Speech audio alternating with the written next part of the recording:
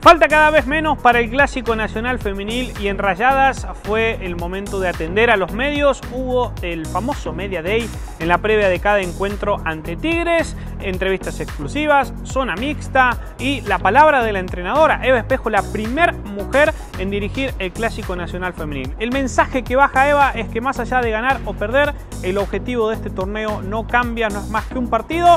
Y bueno, ir a jugar a un universitario al 70%, obviamente que tendrá ese plus que otros partidos no tienen.